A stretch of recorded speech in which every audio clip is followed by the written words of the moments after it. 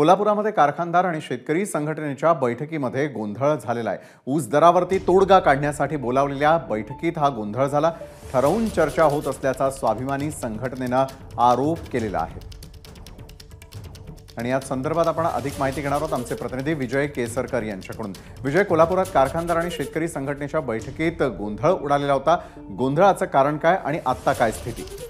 विशाल खरं तर ऊसाच्या दरावर तोडगा काढण्यासाठीची ही तिसरी बैठक आहे. या तिसऱ्या बैठकीमध्ये काहीतरी तोडगा निघेल अशी आशा होती.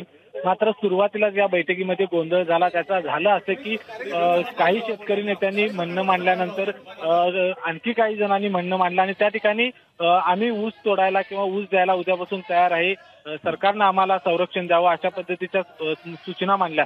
त्याच्यानंतर हे सगळं प्लॅन आहे का? तुम्ही ठरवून ही बैठक केलेली आहे का? अशा पद्धतीचा आरोप आहे. जो सर्व शेतकरी संघटनांनी केलेला आहे आणि या बैठकीमधून बाहेर येण्याचा त्यांनी प्रयत्न केला.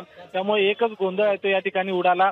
शेवटी पोलिसांनी या सगळ्या शेतकऱ्यांना शेतकरी संघटनेच्या पदाधिकाऱ्यांना शांत केलं आणि पुन्हा एकदा बैठक सुरू झाली. कारण अगदी बैठक सुरू झाल्यानंतर पाचव्या ते सहाव्या मिनिटाला अशा पद्धतीचा गोंधळ उडाल्यानं या बैठकीमधून पुढे काय निष्पन्न होतंय हे खरं तर पाहावं. पाहणं महत्वाचं असणार आहे. कारण या बैठकीमध्ये एक सकारात्मक तोडगा निघेल अशा पद्धतीची आशा संपूर्ण शेतकऱ्यांना आहे.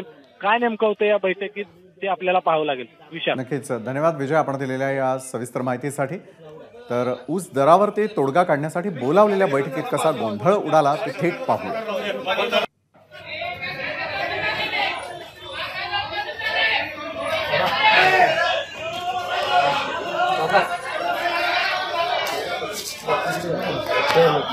माझ्याकडे काय इथं फरक काय ह्याबद्दल येत नाही मी कुठं बघणार बातमी जरी चांगली मी तेवढं करा तिथे नाही दाद घाला त्याच आहे तिथं मध्ये अरे.